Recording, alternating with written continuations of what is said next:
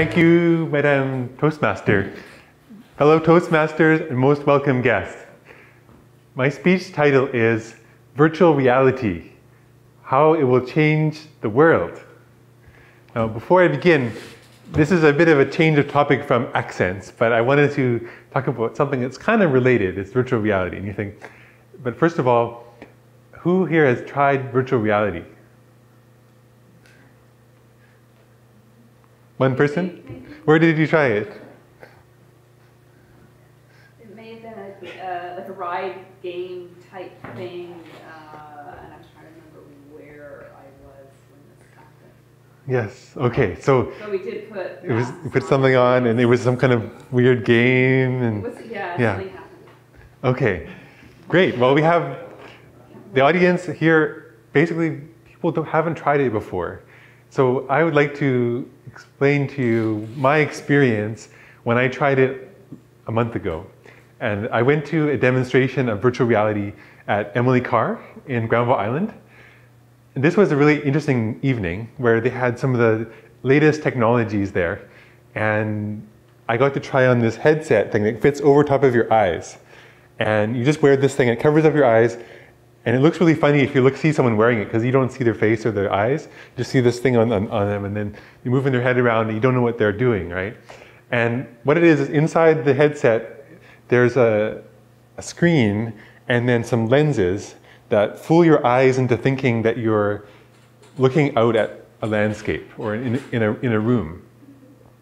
So when you move your head around, it tracks your head movements. So it knows that you're looking this way, so then the picture that you're seeing is going to be shifting um, so that it fools your brain into thinking that you're actually looking around a room. So this is something that's totally wild and new, and see, most people here haven't tried it before. But I got to try this thing on for about 10 minutes, and and, and what it was, it was a uh, a Chinese nightclub that I was transported into. So the, the guy who runs this company, he uh, he's from China and he films virtual reality films for the Chinese version of YouTube. So he, he set up this virtual, this uh, 3D camera that takes a 360 degree view of wherever the camera is and it films in 3D. And then you put this thing on and then you're sitting in a chair somewhere like that and you're wearing this funny thing on your head, but it seems like to you that you're in somewhere else for me, it was really in, totally wild experience and totally out of this world. And the reason I wanted to talk to you about it today is because next year, this technology that I tried on is going to be available to buy for anyone for around $200. So it's pretty affordable for someone who wants to try, give it a try, or you may know somebody who, who gets one. Maybe some young people are using them for computer games. That, I think computer games are going to be the the first application of it that will be really popular, instead of seeing like a window on a computer screen, you'll actually be able to put yourself inside the game.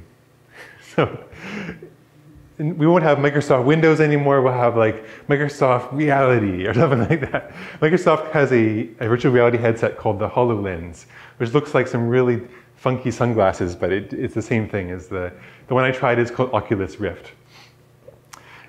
So I want to talk a bit more about some benefits of this technology and a few of the downsides as well. So one really big benefit is really interesting is um, there's a TED speaker named Chris Milk who released a TED talk about a few weeks ago. And he is a filmmaker. And so he took a virtual reality camera that shoots in 360 degrees in 3D and he brought it to Syria, a Syrian refugee camp.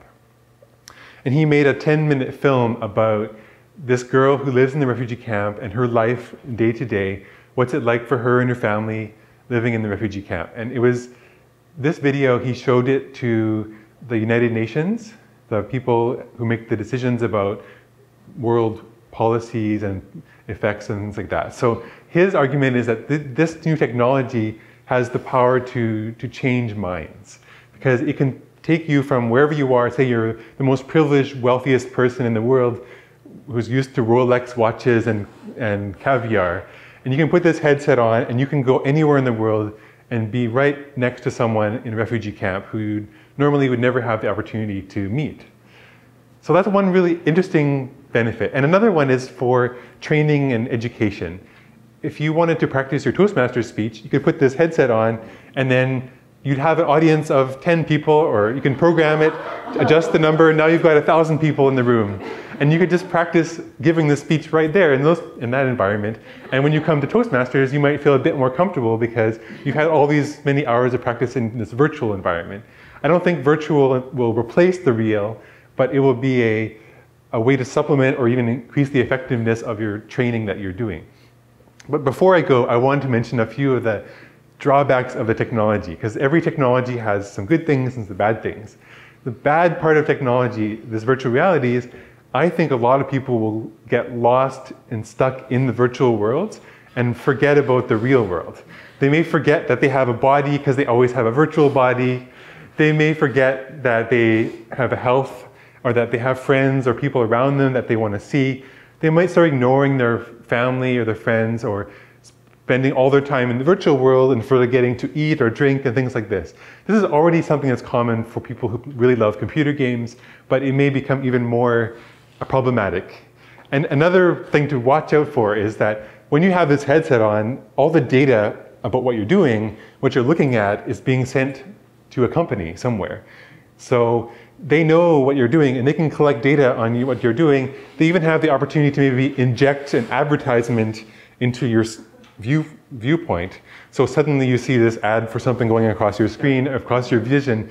They have the power to possibly control us or influence us in even more invasive ways. So that's something that's scary to think about. So I think this technology will be coming and will become more popular in the next year, in the next five or 10 years. It may become really popular.